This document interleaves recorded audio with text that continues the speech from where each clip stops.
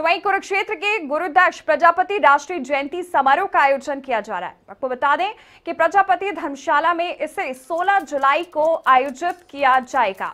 कुरुक्षेत्र में गुरुदक्ष प्रजापति राष्ट्रीय जयंती समारोह का ये आयोजन होगा, जिसकी तारीख 16 जुलाई प्रजापति धर्मशाला में इस कार्यक्रम को आयोजित किया जाएगा और वहीं सीएम मनोहर लाल बतौर मुख्य अतिथि इस कार्यक्रम में शिरकत करने वाले हैं।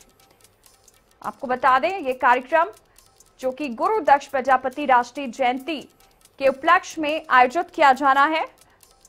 इस खास कार्यक्रम को प्रजापति धर्मशाला में आयोजित किया जाएगा 16 जुलाई को और इस कार्यक्रम के दौरान मुख्यमंत्री मनोहर लाल भी विशेष अतिथि के तौर पर शिरकत करेंगे।